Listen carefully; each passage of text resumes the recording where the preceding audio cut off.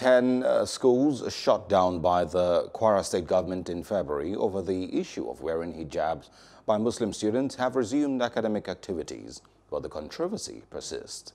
Plus TV Africa went on a fact-finding mission, even as the state government says it is gradually achieving its aim. The dispute between the two parties started after students wearing hijab were disallowed entry into Baptist school Surulere by some protesting Christians, an action which came after the Kwara state government reopened the 10 schools. The schools, built by different Christian denominations, had received grants by the state government in 1974. However, the Christian body says the schools were taken over by the government and have not been returned to them ever since. The state government thereafter gave the Muslims approval to wear their hijabs in the schools, another the Christians blatantly refused to accept.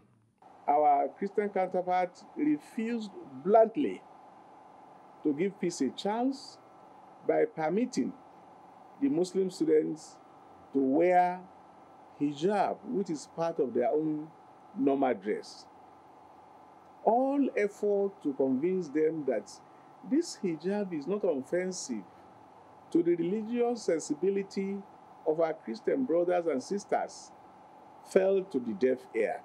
The Christians made it unequivocally clear that they don't want the use of hijab in our school. And we advanced our reasons. We said it will not be good now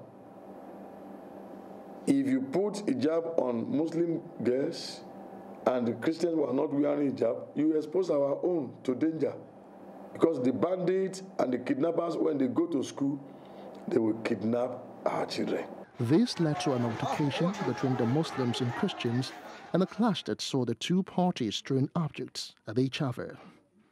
This action left properties destroyed and people injured. What we do not want in Ilorin, the capital of the state of harmony, is crisis that will lead to a kind of a bloody or violent uh, situation in this. The Muslims just came, they besieged and bombarded our schools and began to stone people, injure people with various degrees of, of injury. Although things are back to normal in the state, both parties are still insisting that their demands are met. The Chief Press Secretary to the Kwara State Government, Rafiu Ajakaye, appealed to both parties to remain calm and allow the issue to be handled appropriately by the state government. Our take as a government is to appeal to all of our people to please uh, give peace a chance. Now, the chief imam and chairman of the governing council, Kwara State College of Arabic and Islamic Studies, appealed to the Christian faithful to let peace reign.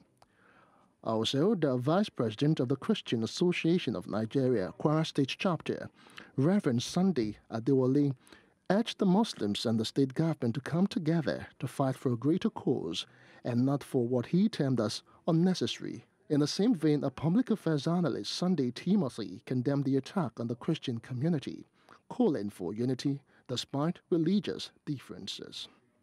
We use the same markets, we use the same hospitals. So, why will it be difficult for us to use the same school where there won't be any discrimination?